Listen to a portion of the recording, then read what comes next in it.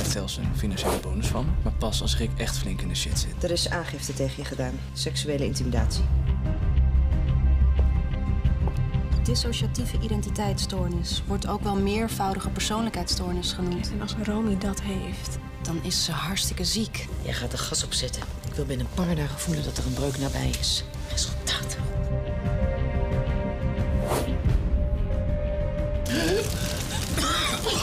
Wel 112! Maakt het alleen maar erger.